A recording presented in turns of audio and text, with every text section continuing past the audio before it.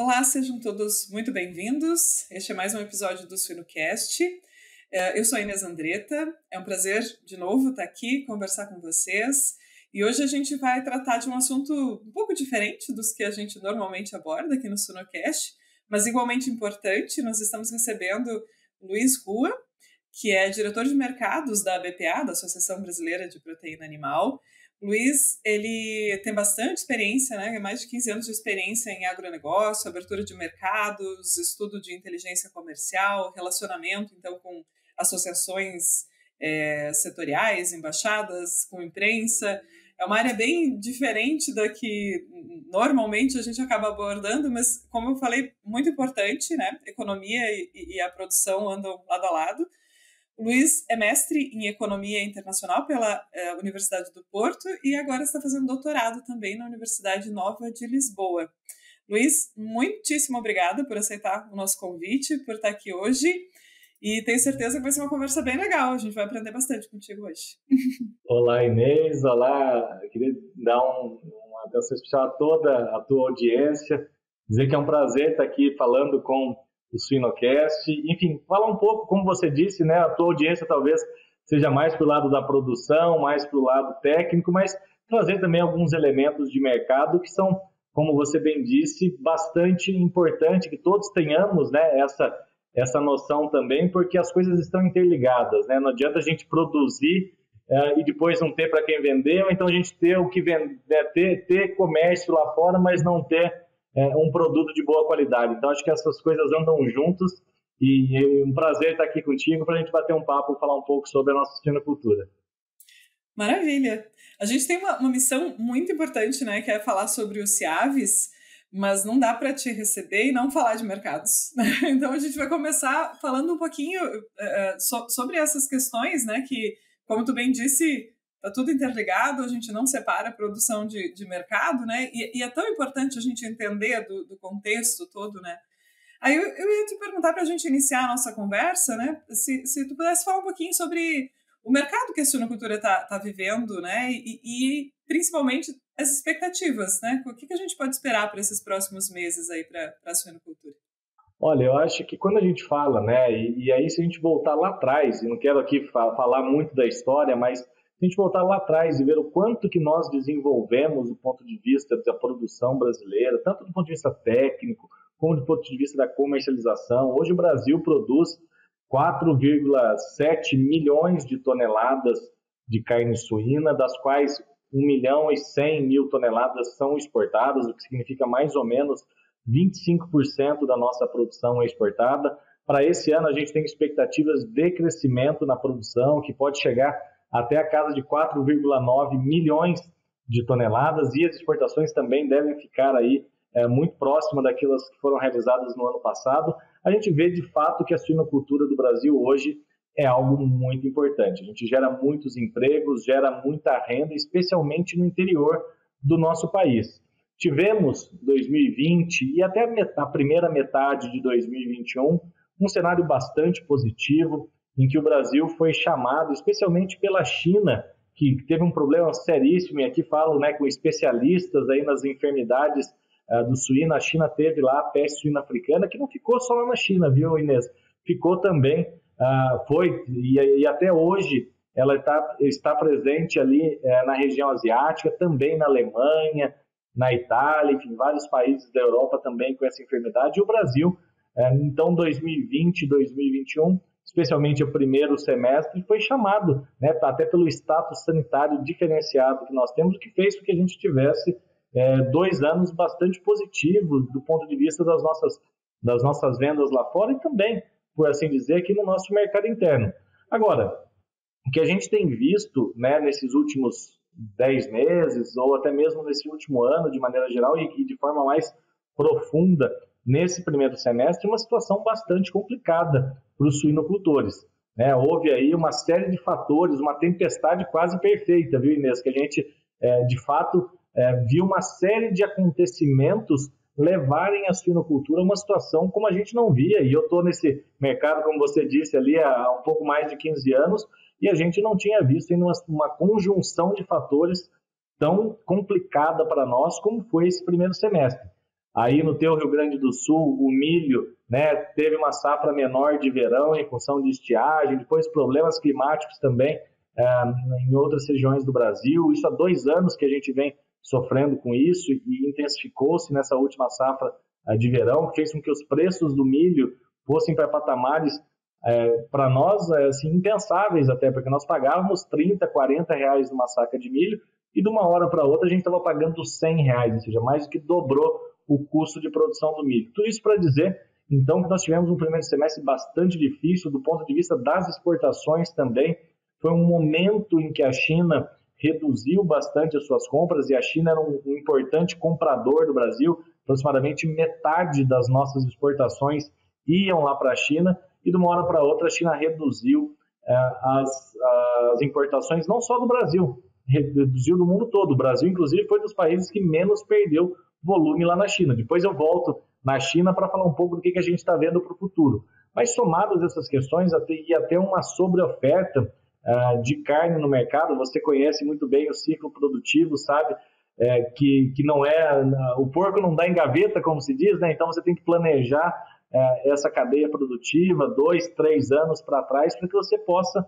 Né, a carne que a gente está comendo hoje é fruto, na verdade, de um planejamento de dois, três anos para trás. Então, todos esses fatores reunidos fizeram que nós tivéssemos, de fato, um primeiro semestre bastante complicado. A boa notícia, se a gente puder dizer algo nesse sentido, Inês, é que a gente vê uma luz. E é uma, não, é, não é a luz do trem vindo de frente, de, vindo, é, de frente para nós, né? pelo contrário, é uma luz que indica um caminho. Né? A gente vê que é, talvez o pior já passou, a gente vê né, o, o, cenário mudando, a, a, equação mudando de, de sinal, né? então de um sinal negativo para um sinal que começa a ficar positivo. A gente vê a safra de milho é, agora vindo muito cheia, chegando aí próxima das 115, 116 milhões de toneladas, o que significa que tem milho disponível. Os preços do milho já vieram para patamares um pouco mais razoáveis, né, que aliviam um pouco essa pressão uh, em cima do, do nosso produtor. Uh, por outro lado, a gente vê, aqui também a boa notícia, né, um retorno da China comprando volumes maiores do que comprou no primeiro semestre.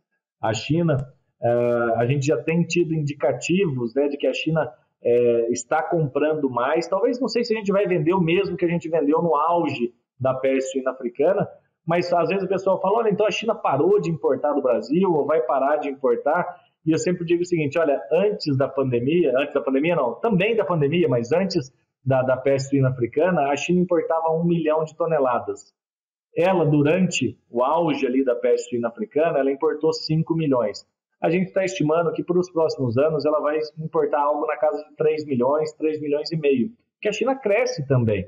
E talvez né, o primeiro semestre foi bastante complicado lá, porque a gente não esperava esses lockdowns que né, deram uma, uma bagunçada na, nas cadeias logísticas lá e com reflexos no mundo todo, com reflexos no consumo lá na própria China. E agora a redução do número de matrizes, eles indicaram lá que nesse semestre a China reduz 6% o volume de matrizes, você bem sabe que isso vai né, impactar em volume de carne lá na frente. Então os chineses já vieram a comprar mais, com preços melhores, e isso tudo faz com que a gente, né, que a China sendo um balizador dos preços de carne suína no mundo, a gente vê também que outros mercados estão seguindo essa tendência e a gente deve, a partir de agora, se nos primeiros meses do ano a gente exportou algo na casa de 75 mil toneladas por mês, agora a gente já está falando aí de algo muito próximo das 100 mil toneladas nesses próximos meses. Então, acho que o pior já passou, né? Fazendo esse grande apanhado, esse grande resumo, o pior já passou e agora a gente vê um cenário de equilíbrio, um cenário que a gente vai buscar né, recuperar um pouco dessas dificuldades que a gente teve no primeiro semestre. Ai, que boa notícia. Porque não é, não é fácil, né? A gente sabe da, da importância para muitas regiões né, da, da suinocultura. E quando a, a crise pega uma, uma área importante como é a suinocultura, outras tantas cadeias acabam sentindo, né? Então, que legal. Bom, bom ouvir essas notícias otimistas. É, são notícias otimistas, mas acho que bem é, calcadas aí no que a gente está vendo de mercado, naquilo que é. E também, né, não digo que é. Mas nessa fé que a, que a gente tem, né, e acho que aqui fazer uma, uma ode até aos produtores rurais que têm uma fé inabalável, né? Eu, eu falo que, olha, se todo mundo no nosso país, todo mundo no mundo tivesse essa fé, essa coragem que os nossos produtores rurais têm, tanto na sinocultura como na, na, na avicultura, olha, o Brasil, o mundo seria um mundo melhor, porque de fato é gente que acorda cedo, arregaça a manga da camisa e vai lá para a luta, vai lá para a lida, e, não, né, e com toda essa situação difícil, com toda essa complexidade, o pessoal foi lá e continua trabalhando, e a gente espera que agora possa colher frutos dessa, é, dessa incessante fé que a nossa turma tem. É verdade. A minha mãe, os meus pais são produtores rurais, né? Não, não é de suíno, é de, de fruta. Mas a gente sempre brinca que a próxima safra, safra vai ser a melhor, né? Suinocultura a gente fala que é o próximo lote, o próximo lote vai ser o melhor. E assim a gente segue, né? Muito bom. É, a, China é, é, interessante falar da China, né? A China é um, um, player tão grande que o que acontece lá acaba impactando aqui e nos outros países também. E o, o que eu gostaria de, de perguntar para ti é, é sobre é, outros mercados, né? Porque a gente sabe que é, essa dependência de um mercado como, por mais que a China seja esse mercado gigante, é, sempre é, é, é, complicado depender de um mercado, assim como foi a Rússia, né? Agora com, com a China. Existe uma, uma perspectiva de né, abertura de novos mercados? Como é que é essa situação, assim, para os próximos meses e anos também? Olha, Inês, esse é o meu trabalho é, diário aqui na BPA, com o apoio né, do nosso presidente Ricardo Santin, é, que nos dá as diretrizes aqui de, né, do, dos caminhos, e, e, a gente luta o dia inteiro. Né? A gente, sempre é importante, quando a gente fala de abertura de novos mercados, a gente tem que sempre pensar o seguinte, tem que combinar com a turma de lá também, né? eles têm que aceitar. E, e não é fácil, né? o mundo existe muito protecionismo, existe uma série de interesses, né? Colocados aí em cima da mesa, mas a gente, o nosso trabalho aqui é ficar o dia inteiro, né, junto com o apoio do governo brasileiro, do Ministério das Relações Exteriores, Ministério da Agricultura, que faz um trabalho impecável nesse sentido, buscar esses novos mercados, buscar essas oportunidades. Para já, o que a gente já viu, e aqui acho que é um dado bastante interessante, viu, Inês? A gente sai é, esse ano, né, de janeiro até junho, nós tivemos uma redução. Se a gente pegar tudo que a gente exportou de janeiro a junho desse ano, comparar com janeiro a junho do ano passado, nós estamos exportando 50 mil toneladas a menos, de um universo de 500 mil, 500 e poucas mil toneladas. Né? Isso dá quase 10% aí de diminuição em relação ao ano passado, considerando esse primeiro semestre, que, como eu comentei, foi bastante complicado. Agora, se a gente vê o que a gente reduziu para a China, nesse mesmo período foram 140, se a gente considerar China mais Hong Kong, foram 145 mil toneladas. Então, o que, que eu quero dizer com isso? Que mesmo a China reduzindo, China e Hong Kong reduzindo 145 mil toneladas, o Brasil só reduziu 50 mil, porque a gente encontrou espaço para colocar em 90, 95 mil toneladas que eram destinadas à China em outros mercados. Então a gente vê, por exemplo, né, a explosão dos volumes para Filipinas, que é um país que tem lá um rebanho também com mais de 50%, dizem né, as estimativas, com problemas associados à peste africana. Temos também aumentado os volumes para a Tailândia, que nunca comprou carne nossa e que de um dia para outro com, começou a comprar 3 mil toneladas por mês, que é um volume bastante significativo. Tivemos recentemente, agora a boa notícia também, né, as primeiras cargas para o mercado do Canadá, que sempre foi um mercado sonhado. Desde que eu estou na, na, na suinocultura, a gente trabalha para a abertura desse mercado e, felizmente, esse ano, né, primeiro a ministra Tereza Cristina, depois o ministro Marcos Montes, a gente está conseguindo agora efetivamente abrir esse mercado. As primeiras cargas devem chegar já nesse mês, no, que eu digo, no mês de agosto agora, né, lá no, no Canadá. Então, é, é um mercado que a gente também deve explorar eh, de maneira complementar à produção local, porque o mercado que leva alguns produtos, né, e falta lá naquele mercado alguns produtos premium, como a barriga, né, para fazer o bacon, que é tão consumido naquela região da América do Norte, para fazer é, a costelinha barbecue, que também é muito consumida né, nos bares lá do Canadá, dos Estados Unidos. A gente tem aumentado os volumes para os Estados Unidos também, novas plantas sendo habilitadas para os Estados Unidos. Japão, que é um mercado super premium, um mercado é, que pede especificidade de produto aí para o pessoal da produção, né? Olha, por que, que eu tenho que fazer o refil de tal forma, de um jeito ou de outro? O Japão é um mercado que exige né, um produto quase perfeito, eu diria perfeito, né?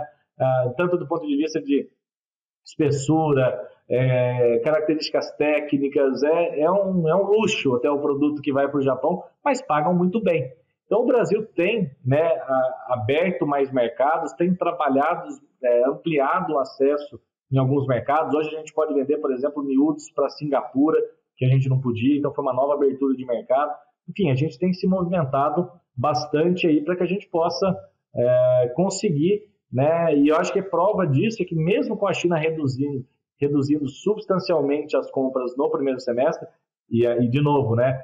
Tudo indica que agora deve voltar a comprar patamares altos, não talvez os patamares no, no auge da crise, mas patamares altos, a gente conseguiu ah, né, minimizar essas dificuldades e agora a gente espera colher aí bons resultados mantendo essas relações comerciais. Eu falo que, é, faço até uma brincadeira que é, a, é, mercado aberto é igual o brinco na orelha, né? Se você não colocar o brinco, ele fecha. E, e o mercado é a mesma coisa. Né? Você precisa estar lá, você precisa conversar com o cliente, você precisa entender quais são os requisitos, você precisa entender né, as regras, como funciona o mercado, a precificação e tudo mais.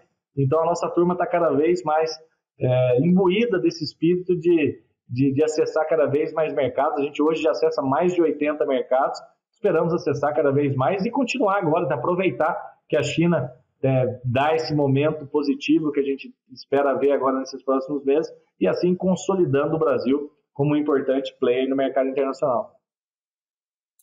Que legal. É, eu dou aula de produção e manejo de suínos aqui na URGS. E aí eu tenho na primeira aula um mapinha assim. Todo ano é legal que eu tenho que atualizar esse mapa. Eu vou te mandar os últimos, então você me, depois me fala, eu te mando uh, os últimos e os materiais aí que a gente produz aqui, se você quiser usar. Esse, não, eu uso muito relatório, né? Eu uso muito, e, e mas é, o bacana é que não dá para usar a mesma aula, porque já pensou que coisa triste, né? Se usasse sempre a mesma aula, assim. Eu né? falo que esse é um setor bem dinâmico, viu, Inês? Assim, eu falo que quem quer trabalhar na sinocultura, seja na parte do campo, na indústria, na parte comercial, falo que morre de qualquer coisa, menos de tédio, né? Porque isso aqui é, é um dinamismo brutal. É, mas que bom, né? Esse tipo de atualização de aula, olha, eu tô super querendo fazer sempre. Ah, e, e uma, uma coisa que bem interessante você colocou é essa abertura de mercados associado a, a, a espaços premium, né? Exigências muito altas e, e, que legal que o Brasil está tá conseguindo esse espaço também, né? E aí eu, te perguntaria sobre essa capacidade do Brasil assim eh, de competir com outros players importantes, né? Como é que o Brasil, como é que é essa comparação? Como é que o Brasil está de competitividade nesses mercados mais premiums e nos mercados é, outros mercados também em geral? Olha, quando a gente fala, né, assim, acho que é interessante a gente dizer para a audiência que o Brasil hoje Uh, é o quarto maior produtor e o quarto maior exportador de carne suína. Na frente nossa, quando a gente fala das exportações, nós temos a União Europeia, que exporta quatro, cinco vezes mais do que nós exportamos. Né? Lembrando que a gente exporta algo como 1,1 milhão de toneladas de carne suína né, nesse último ano de 2021. Essa deve ser a perspectiva nesse ano de 2022 também. Uh, depois veio os Estados Unidos, né, que exportam aí um pouco mais que o dobro nosso. O Canadá, que a gente ano após ano vai, vai chegando perto. Estamos ali, estamos na cola do Canadá ali, buscando essa terceira colocação. Ainda falta um pouquinho, mas devemos, né, em, aí, em alguns anos.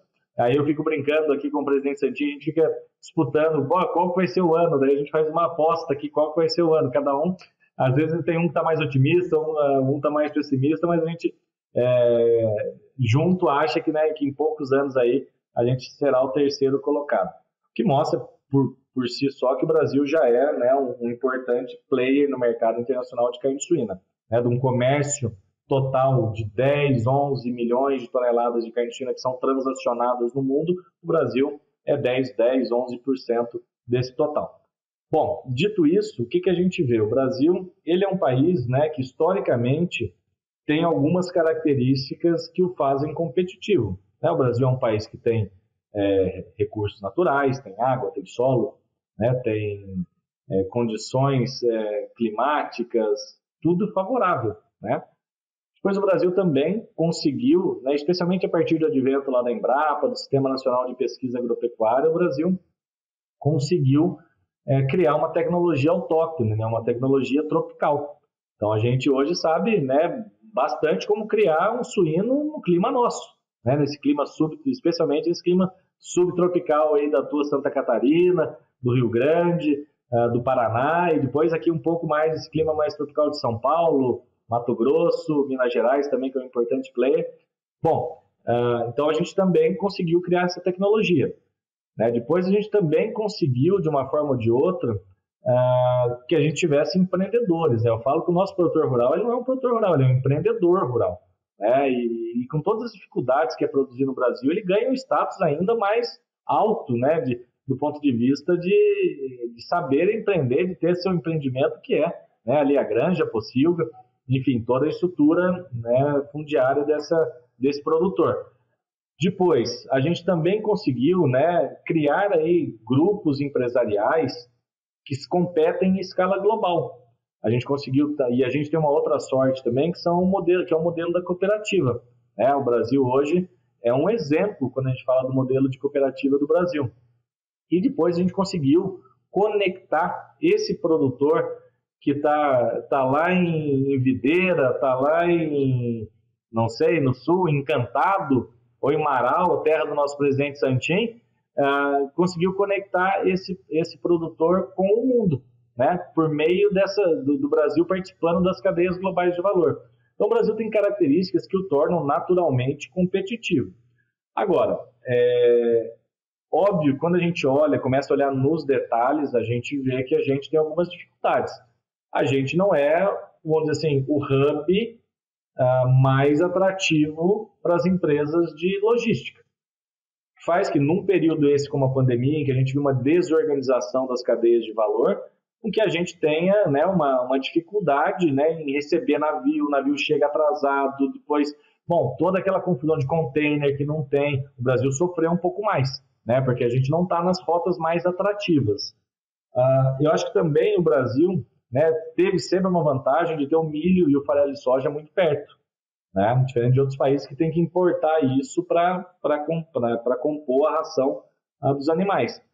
Uh, agora, nesses últimos dois anos, né, e aquilo que eu comentava no começo, a gente perdeu essa competitividade, porque o milho basicamente né, ficou com paridade com os preços internacionais e em alguns casos ficou até mais caro, né?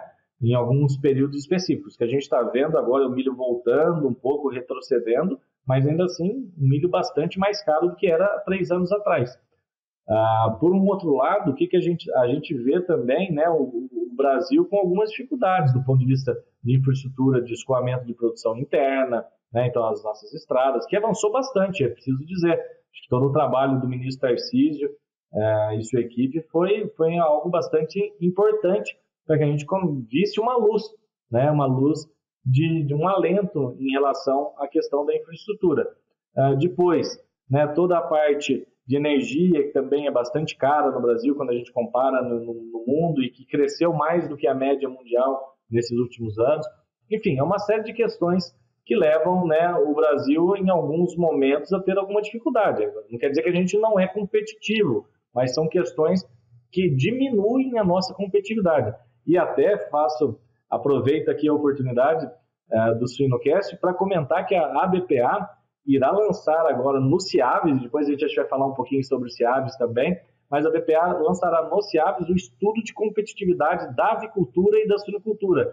A gente fez aqui um apanhado com todas essas questões, fomos comparar com outros competidores, como Estados Unidos, a Tailândia, a União Europeia, uh, enfim, uma série de players no mundo, quais eram as nossas condições frente a eles. Né? Então, tudo isso vai estar nesse estudo de competitividade. Eu convido a todos que estejam lá no CIAVES no dia 9 ao dia 11, no próprio dia 9, né, no período da tarde, a gente vai lançar esse estudo, a gente vai entregar, inclusive, um documento com algumas recomendações, algumas sugestões que trariam né, a nossa competitividade para um outro patamar e fariam com que a gente pudesse alavancar um pouco mais as nossas exportações e mesmo aqui né, as nossas condições para produzir um alimento que é seguro, que é saudável, que é saboroso e que, além de tudo, né, nos últimos tempos tem sido barato. Bacana, muito bom. Esse tipo de, de, de ação é importante, né? mesmo para o mercado interno, né, como tu comentou, né, que mais pessoas tenham acesso a um alimento de, de qualidade, saudável, né, e que entendam que é um alimento que pode estar presente, enfim, aí já entra quase um outro assunto, né, mas é, é bacana, é importante que a gente tenha uh, auxílio de outros outros setores também, assim, né, do governo, enfim. E para alcançar outros mercados, o que que a gente precisa fazer assim de lição de casa na suinocultura? é, que, que, áreas, que demandas, né, que são mais, assim, é, enfim, em alta, né, e que a gente provavelmente tenha que se adaptar aqui dentro do Brasil, enfim, rever, melhorar para acessar, para continuar crescendo no mercado internacional. Eu vou dar até um passo atrás, Inês. Eu acho que assim, para a gente manter os mercados que nós temos, e eu queria aqui aproveitar a tua audiência qualificada para pedir né, para o nosso produtor rural, para o nosso empresário, né, para as pessoas que estão vinculadas à cadeia produtiva, para que mantenham e até reforcem os conceitos e as medidas de biosseguridade. É algo que a gente tem que colocar sempre que a gente tem a oportunidade de falar, porque não é fácil. Quando um país é acometido por uma doença, por exemplo, a peste suína africana, a, a dificuldade em controlar uma doença como essa é muito grande e os impactos econômicos para a cadeia como um todo são gigantescos. Fiz uma conta né, aqui com o meu time, com a Laís, com o Gabriel, com a Vitória, uh, e a gente viu, né, olhando pelos certificados sanitários internacionais, que se a gente fosse acometido, né, e aqui bato, estou batendo na madeira aqui, ó, é, Bater aqui também, tá? Todo mundo bate. É, se a gente fosse acometido por uma, uma doença como essa, é, em um ano, né, a suinocultura que gera 2,5 bilhões é, de dólares e 1,1 milhão é, de exportação, a gente perderia praticamente 1 milhão dessas 1 milhão e 100 mil toneladas. Fora os efeitos né, daí de spillover, né, de transbordamento no mercado interno. Né, depreciação da, da, da carne suína, as pessoas com medo, apesar que é uma doença que né, é importante dizer, não tem, não tem enfim, impacto para o consumidor, não para o ser humano, mas né, gera-se um, uma pane então, assim, a gente estima que em um ano, um ano e meio, os impactos seriam da ordem de 5 bilhões de dólares. Então, primeiro, né, antes daí, agora eu já vou entrar na tua pergunta especificamente, primeiro eu queria reforçar, pedir né, para todos os produtores, todo mundo que está na cadeia, para que a gente tenha sempre isso muito em mente. E é um trabalho que todo mundo tem que fazer a sua parte, né? Não é um trabalho que, ah, faz, ou sei lá, né? Não, não é isolado, não é da Embrapa, não é de ninguém, é de todo mundo. É um pouquinho cada um. A, a BPA faz e o Ministério faz, mas é o que você falou. Todo mundo tem que fazer o seu, porque a BPA não consegue estar lá na granja do seu João ou da Dona Maria. Ah, o que a gente tem que fazer, é cada um se conscientizar em relação a isso, né? todos os elos da nossa cadeia, que todo mundo perde numa situação dessa.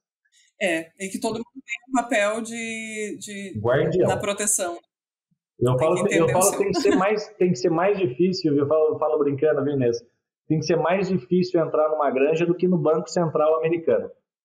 É, acho que essa tem que ser a nossa, a nossa meta quando a gente, né, para que a gente possa resguardar aí o nosso, nosso papel de, é, de provedor de alimento seguro, com qualidade para o mundo, e não só, a gente fala muito do mundo, mas aqui para o nosso consumidor, que esse ano deve consumir 18 quilos per capita, batendo um recorde aí de consumo de carne suína. Bom, mas voltando para a tua, a tua pergunta, uh, eu acho que a, a, o Brasil tem que é, trabalhar, então, muito a questão dos, dos requisitos, de atender né, os, os, requisitos. A gente tem, tem visto também o nosso pessoal da suinocultura é, indo atrás de conhecer os gostos dos clientes. Então, é muito importante. O presidente Santin sempre faz uma, uma, uma comparação aqui. Né, se a gente quer vender para o mundo, é, a gente precisa entender qual que é a receita da avó das pessoas desse país X que a gente quer vender.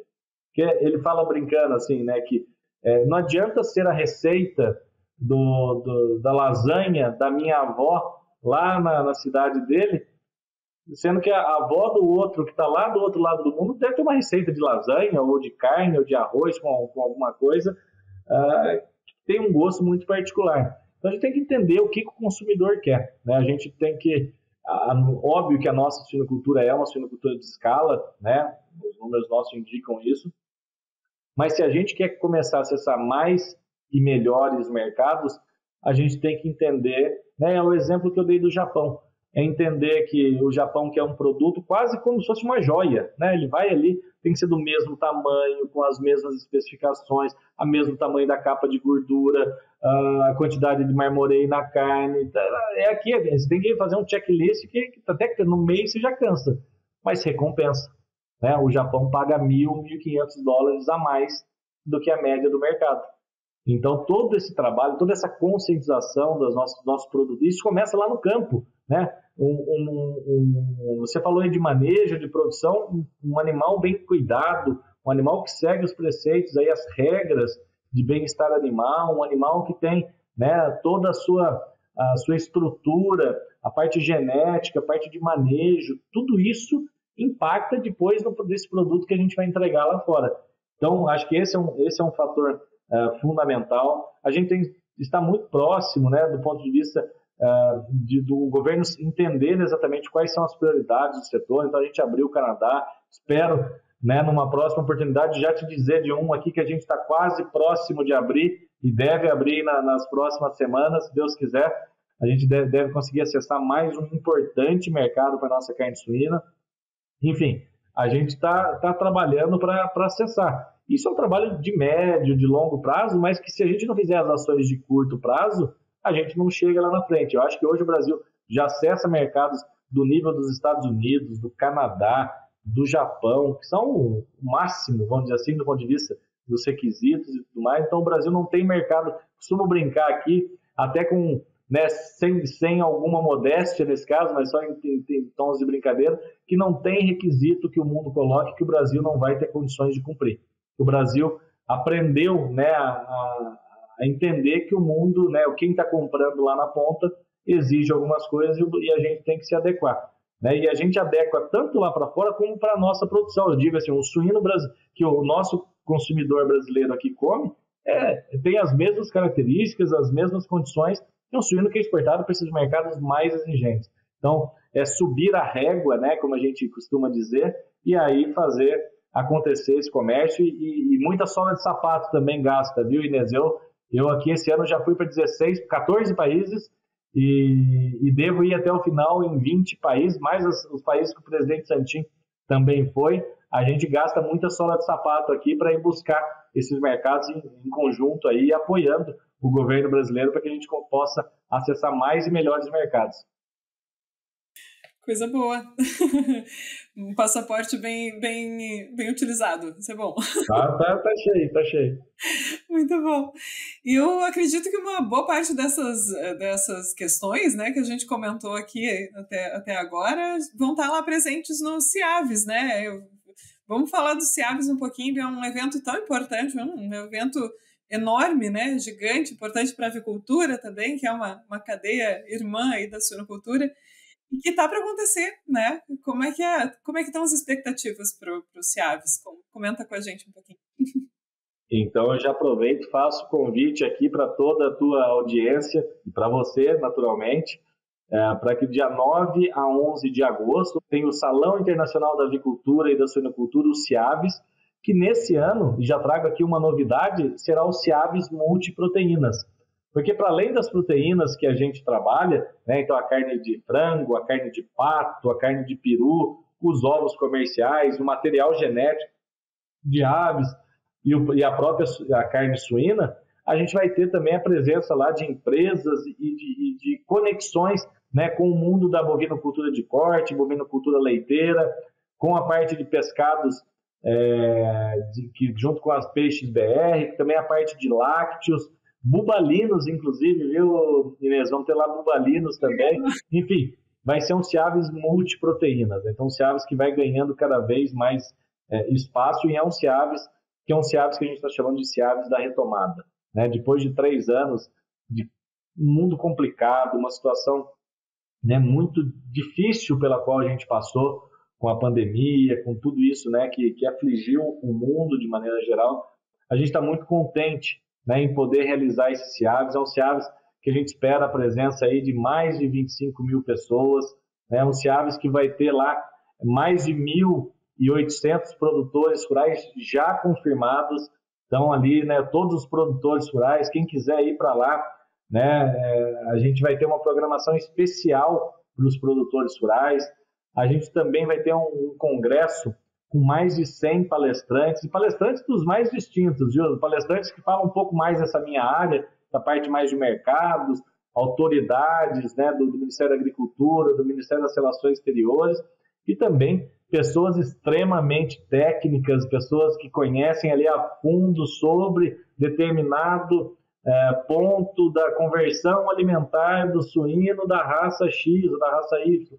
Então, né, é, um, é um congresso muito abrangente, a gente tentou fazer de uma forma que aquelas pessoas que têm essa, essa perspectiva mais técnica possam acompanhar de maneira seguida e, do mesmo tempo, as pessoas mais da parte mercadológica, mais política, também tenham uma, né, não choquem as agendas aí e a gente consiga, né, todo mundo consiga ir lá e ver aquilo que, que, que gostaria de ver. Acho que é um Ciaves que vai trazer muita inovação, muita inovação, acho que nesses três anos, e aqui a gente falou né, que o Brasil tem a tecnologia é, criada aqui no Brasil, então acho que tem muita coisa nova para as pessoas verem, do ponto de vista de inovação de maquinário, inovação de processos, tudo isso culmina também com o nosso Ciaves Talks, que foi uma invenção aqui do nosso presidente Ricardo Santin, que a gente abriu espaço aí e aproximadamente 30 uh, ah, startups, empresários, empreendedores poderão lá gratuitamente apresentar a inovação, apresentar o produto, mostrando, né, e aí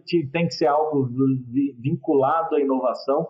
Então é algo né, que, que vai trazer aí também, as pessoas vão poder lá ver naquele formato daqueles TED Talks, né, que são aquelas conversas rápidas ali, vai ter isso, vai ter o Ciaves Experience também, em que, em que os nossos visitantes poderão é, adentrar né, no mundo nosso do dia a dia, vão poder vir um óculos de realidade virtual, é, acompanhar o que, que é uma possível, o que, que é uma granja, sentir cheiro de terra molhada. É muita gente, a gente fala, né, e, e quem é é, eu sou de uma cidade do interior também, conheço bem, tenho família vinculada ao campo, mas tem muita gente aqui em São Paulo, em outras capitais, que nunca viu, né, ou nunca uh, sentiu o cheiro de terra molhada, ou nunca viu. Né, ou, então, quando a gente quer trazer também esse público mais urbano também, é, para entender como a nossa avicultura e a nossa suinocultura são sustentáveis, é, daí temos um monte de, de atrações, é, vai ter o congresso, o painel dos CEOs também, CEOs da BRF, da Seara, da São Salvador, da própria Aurora é, Alimentos. Enfim, é um Ciaves recheado de atrações. A gente está muito contente em poder realizá-lo, muito também né, com ansiedade de realizar, porque de fato é um grande encontro da avicultura é, e da suinocultura brasileira. E não só, temos mais de 50 é, nacionalidades nos visitando, projetos em parceria com a Apex Brasil. Né? Então, vem jornalista lá de fora, vem comprador, vem formador de opinião, pessoas que depois vão voltar para os seus países né? e, e levar aquilo, e mostrar, ou falar, né? se forem jornalistas, falarem ali o que, que a gente faz, como a gente produz. Eu tenho certeza que vão levar uma imagem muito positiva, porque o Brasil produz com muita sanidade, você conhece muito bem disso, e também com muita sustentabilidade, fazendo aí um ciclo completo é, de, de, de, produção. Que legal, que legal. Acho que essa é uma, uma das coisas muito importantes né, que a gente precisa. É, a gente já, já, faz bem, as entidades fazem muito bem essa comunicação né, do, do valor da, da, da cadeia, de como das características positivas que a gente já tem na cadeia, mas a gente, cada ator dentro da, da, da cadeia, a, a, né, tá dentro desses eventos, assim, acho que nos capacita a ser um pouquinho um ator de comunicação também, né? A falar um pouco, às vezes, para fora até da bolha, em que, né, do, do, só, só, dos nossos, assim, até uma comunicação mais, não sei qual palavra usar, mas proativa, talvez, né? Às vezes a gente fala para se defender, tipo assim, alguém, influencer, falou, a gente vai lá e tenta se defender, né? E essa comunicação de, de contar o que a gente já faz, de mostrar o cheiro da, da, terra molhada, apesar de que às vezes, né, na suinocultura a gente tem outros cheiros. Sim, tão... sim, bom, mas vamos levar só cheiro da terra molhada que é mais gostoso. É, deixa Mas de é, a, a, a, mostrar que, como, como é, né? Olha, tu não pode visitar a granja porque a gente tem biosseguridade, mas a gente não está escondendo nada de ti, né? Olha, a gente está fazendo, na verdade, bem deixar ela fechada. Mas se você quiser ver como é, tá aqui a tua experiência, né? Visita, entenda como funciona. Isso é muito bacana. Eu acho que o Ciaves, como é um evento completo, assim, né? A feira, o congresso, é, é, esse ponto de encontro, assim, acho que ele cumpre muito bem esse papel. É, é um ponto de Legal. encontro e eu acho que eu acho que ali tem, né, tem espaço para todo mundo. Eu acho que, né?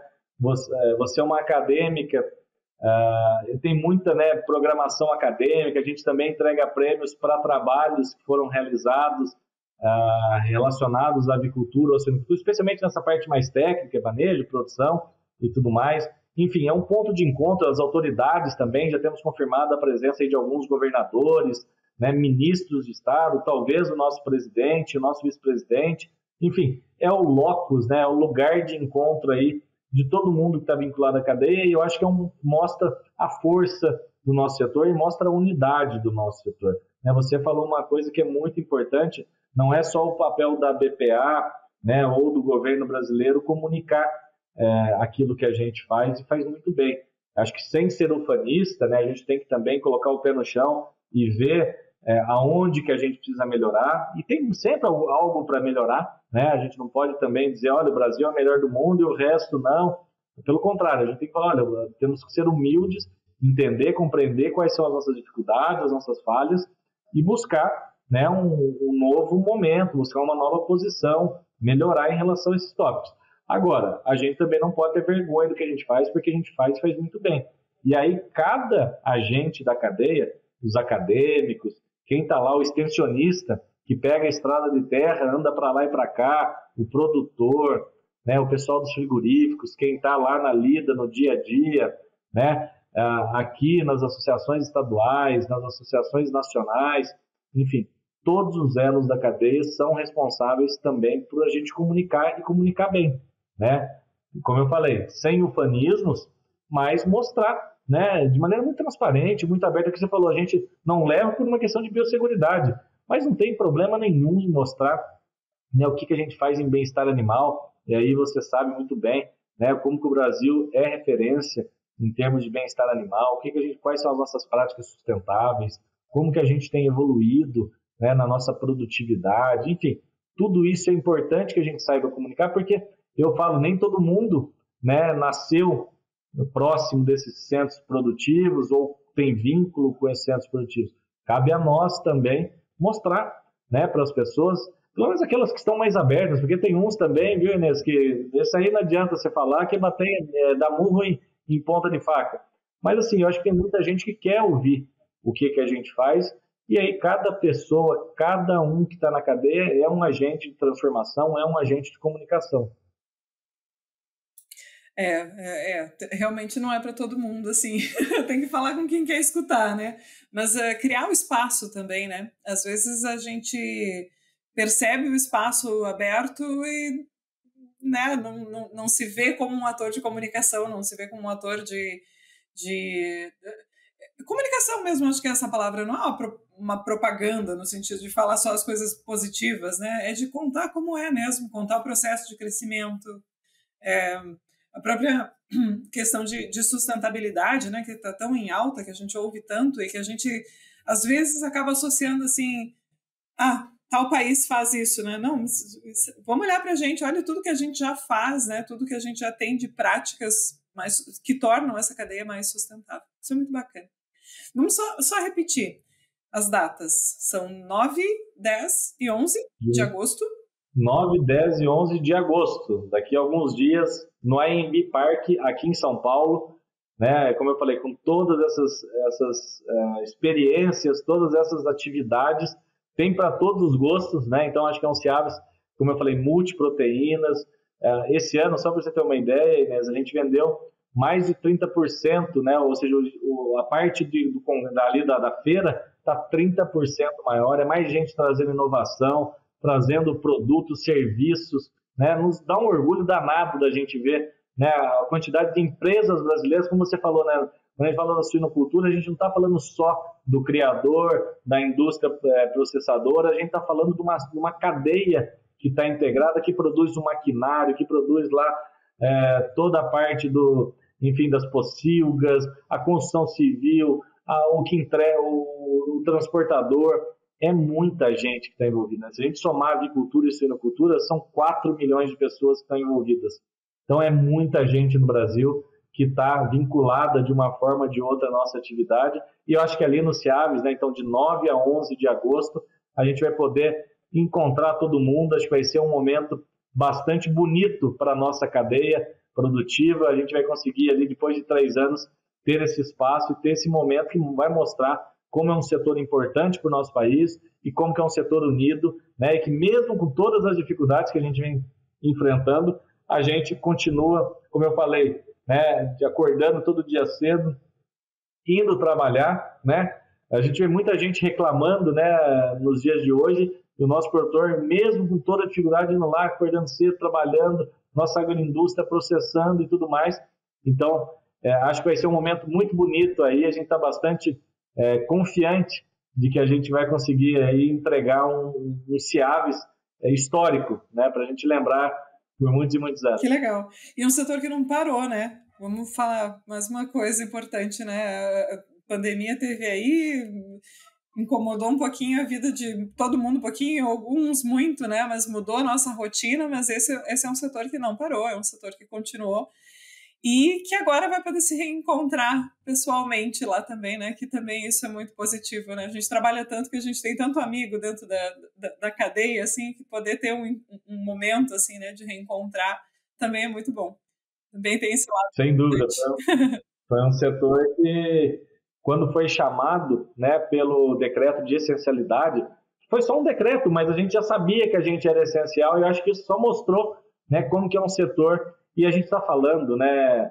E até parece às vezes meio é, utópico, meio ufaníssimo, a gente está falando de alimento, né? A gente está falando de algo que, que, que traz felicidade para as pessoas, para além da necessidade básica, né? Que naturalmente, sim, se a gente ficar sem tomar água e ficar sem comer, a gente morre, né? Então, assim, é algo que é de, de primeira grandeza, é algo que a gente tem que se orgulhar, né? Quem está nesse setor tem que ter um orgulho danado, né? Porque produz alimento, leva alimento, e alimento né? Quem não, eu, eu, eu costumo dizer que alimento, né? Você lembra, você não lembra de várias coisas na sua vida, mas lembra daquele prato que a mãe é, fazia ou churrasco que o pai faz ou fazia. Sempre está, né?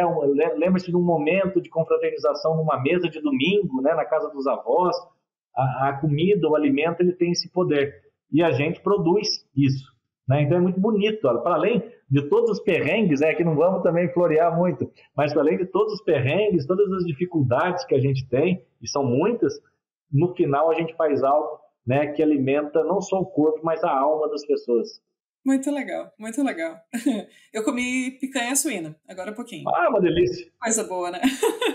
é uma delícia. E tem o filezinho, já provou o filezinho também ou não? Ah, o filezinho é o nosso favorito aqui em casa, é o que mais. Esse é fantástico. Você faz emedalhar. Ainda bem que eu almocei, viu? Porque tá, dá, dá até uma fome da gente falar né? do filezinho, da picanha. Tem um corte, quando eu morei muitos anos né, em Portugal, morei na Argentina também, e lá o equivalente à nossa Copa Lombo é algo que eles adoram lá.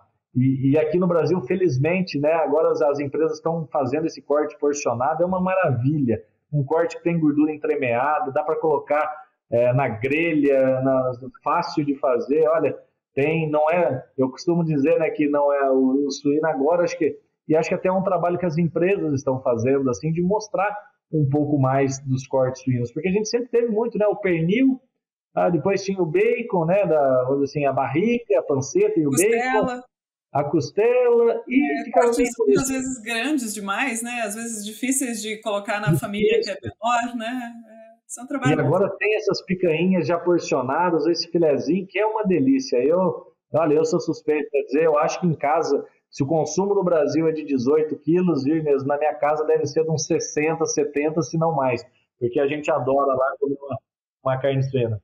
Aqui em casa também. Essa é outra coisa que a gente fala muito na, na disciplina de, de produção e manejo de suínos. Eu peço para cada um fazer o exercício, assim, quando consome, eu, normalmente eu ganho. Ah, eu, eu nunca fiz exercício, mas agora você me deu uma boa ideia. Eu vou chegar em casa, eu vou, eu vou começar a ver por mês para fazer uma estimativa de por. Mas é. eu acho que é isso. Eu acho que menos de 40, 50 quilos não é, seguramente. É, e tem um, é um exercício legal, assim, porque muita gente esquece produto também. A gente às vezes está fazendo a conta e vai pensando nesses in natura, né? E presunto, salame, copa, né? Todos esses outros, a gente às vezes até dá uma esquecida na continha, é importante ah, também. Cada é. dia, eu tenho cada dia uma, umas mortadelas, uma mais gostosa que a outra que estão fazendo agora. Os produtos aí, o presunto cru. Ah, mas é um negócio de louco. Eu, eu gosto de. Eu não tenho, acho que não tem produto que eu não gosto, eu acho, de ser. Suspeito para dizer, sou suspeito para dizer, mas, mas enfim, é, trabalho com gosto porque é, que é algo que eu gosto efetivamente. Mas isso é, isso é legal, né, Luiz? É, é trabalhar com aquilo que, que a gente acredita, né? Não é trabalhar com uma coisa que, ah, eu tô falando aqui, mas vou sair daqui e vou fazer outra coisa, né? É trabalhar com aquilo que a gente acredita mesmo, né? Seja tecnicamente, né, na cadeia, no sistema até fundiário, né, de aqui no sul muito pequena propriedade, enfim, é, é, a gente acredita. Eu, eu, pelo menos, me vejo acreditando muito nesses tópicos todos, assim. É, você falou de um tema, desculpa, você falou de um tema que eu acho que é legal assim, a gente falar para o pessoal, que é, assim, né, a nossa sinocultura, avicultura também, especialmente no sul do Brasil, a gente fica às vezes muito aquela coisa, né, olha, o agronegócio versus a agricultura familiar. Gente, a agricultura que faz aí, né, o, o suinocultor aí, é agricultura familiar. Né? Grande parte do pessoal é agricultura familiar e é agronegócio também, né? porque não adianta ter agricultura familiar e não ter para quem vender, seja no Brasil ou no mundo. Né? Você precisa das cadeias organizadas. E eu acho que né, criou-se muito essa dicotomia, não, agricultura familiar versus é, agronegócio, e é a mesma coisa. Né? E aí eu acho que o exemplo perfeito é, aí o, é o oeste de Santa Catarina, o oeste do Paraná, o norte do Rio Grande, né? depois aqui Minas Gerais, enfim, são lugares que são pequenos produtores que estão integrados às cadeias globais de valor por meio né, das grandes empresas, das cooperativas. É, acabar um pouco, sabe? Não, não tá muito fla né? Muito Grenal para os gaúchos, ou muito não. Corinthians e Palmeiras aqui em São Paulo. É, a gente precisa, precisa né, ser, ser menos, menos, né? As coisas se encontram eventualmente no meio do caminho. Exato, é, e é, é, é, a propriedade é pequena, ela está lá no interior, muito no interior, mas a tecnologia que tem nos Estados Unidos está lá, né? O, a, a, o, a organização da cadeia permite que esse produtor seja competitivo, seja agronegócio, né? Não seja, um, enfim, um ator subsistência ali, né? Seja uma pessoa que, que é capaz de ter uma qualidade de vida legal, que entrega para a família uma qualidade de vida legal. Isso é muito bacana. E é isso, né, Luísa? Trabalhar com aquilo que a gente acredita. Eu falo com bastante orgulho da, dessa, dessa. Somos dois, então. De, de alguma dois. parte, de algum jeito faço parte também. Muito, muito. Muito Aliás, bom. eu sou, né, eu sou um defensor da, da academia, né, da universidade. Eu acho que é, é na escola, né, desde a nossa escola básica, passando pela, né, pelo ginasial, depois o colegial e depois a universidade, para que eles conseguem chegar até lá é, é aí que a gente forma cidadãos, né? É aí que a gente forma um Brasil melhor. E forma um Brasil melhor em tudo, inclusive para a gente, para trabalhar nas nossas agroindústrias, para ser um bom produtor rural, para ser um bom empregado, para ser um bom empresário, enfim, né? Conhecimento, educação não faz mal para ninguém, né? Quanto mais, esse é um famoso caso quanto mais melhor, né? E aí a gente começa a se questionar.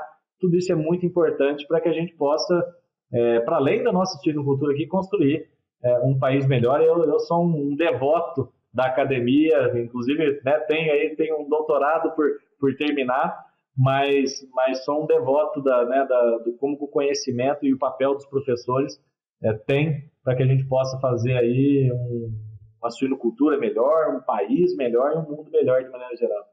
É, exato. A educação é transformadora, né? Para mim, eu tenho uma noção muito completa na minha vida do papel que ela foi capaz de, de, de, ter, assim, eu acho que na vida de muita gente também. Muito legal, muito legal. Que, que honra conversar contigo, é muito bom tá? falar sobre o Ciaves, falar sobre o mercado, falar sobre suinocultura, que a gente gosta bastante, sobre carne suína agora no final também. Ah, essa é a parte mais gostosa. Coisa boa. Já, já fez uh, estrogonofe de carne suína? É uma delícia, é um dos pratos prediletos do nosso presidente aqui. Ele fala sempre de estrogonofe de carne suína. Tá, eu cozinho muito mal, muito mal mesmo, mas esse, esse é tão fácil de fazer que até eu é consigo. Fácil, é fácil, exato. A bolonhesa, né, aproveitando que a bolonhesa de carne suína moída é uma delícia, fica muito, muito mais saborosa. É, não que a gente não goste, eu pelo menos adoro carne bovina também, continuo comendo e tudo mais. Mas é, esse da esse, esse bolonhesa de carne suína é uma delícia também. Provem para aqueles que não provaram ainda. Ah, hambúrguer também. Tudo, tudo, tudo é gostoso. Ó, oh, a gente não vai fechar nunca esse Já tá dando fome já. Não, é, vamos encerrar porque tá dando fome, né? Uh, Luiz, brigadão por, por, pelo teu tempo, que eu sei que é bem concorrido, né? Mas tu ter entregado um pouco do teu tempo aqui pra gente, compartilhar um pouquinho sobre o CIAVES de novo, né? Que tá para acontecer aí entre 9 e 11 de agosto, São Paulo, fácil de acessar. Uh, a programação está uh, disponível, uh, a programação, informações da feira, informações de, do, do, evento né, em geral, estão disponíveis no site, né? É importante dizer aqui, ó, Ciaves, Ciaves. É savs.com.br. Isso, é, .com.br. Então, procurar, procurem. Acho que uh, quem, quem. Muita gente já está organizando né, as malas para ir, mas quem de repente não, não pensou ainda no evento, usa o site aí, usa uns cinco minutinhos né, para dar uma olhadinha no site, tem muita informação legal lá. Com certeza vai dar mais vontade de estar presente no evento. E parabéns pelo trabalho que vocês desenvolvem, né? A, a, a BPA tem um, um, trabalho tão importante, né? Para mais do que a, a suinocultura, né? Para outras cadeias também. Parabéns, é importante. A gente, cada ator faz uma partezinha, né? Mas vocês têm uma parte importante do trabalho lá e tem feito ela muito bem. Muito obrigada. Obrigado. Não, eu que agradeço a oportunidade, uma conversa agradável contigo, né? Que conhece da nossa suinocultura, milita por ela também. E, e, de fato, não, eu só tenho a agradecer né, pela, pela oportunidade de estar aqui com vocês e de poder falar um pouquinho do nosso trabalho aqui da BPA, reforçar esse convite que já fizemos os dois aqui, mas quero reforçar, então 9 a 11 no AMB Park aqui em São Paulo, né, espero todos que, que estão nos ouvindo aí, porque possam, é, quem puder estar presente, vai ser uma honra recebê-los e conversar um pouco né, sobre a nossa sinocultura, sobre a avicultura, eu acho que tem bastante coisa para conversar. Esse, né, como você falou, daria para a gente ficar aqui umas duas, três horas, mas, enfim, fica por uma, por uma outra oportunidade de a gente trazer, conversar também em outros assuntos. Estou sempre à disposição é, de você aqui, tá, Inês, se for necessário. E, e, vamos lá, espero ver todos aí do dia 9 a 11. Muito bem, muito bem. Muito obrigada a todos que ficaram com a gente até esse momento. Espero que né, tenham, tenham pego alguma coisa importante aqui. Acho que teve muita informação, teve muitos insights, teve até quase receita no final. Muito obrigada pelo tempo de, de todo mundo. E a gente se encontra numa próxima, ou de repente no CIAPS. Até lá!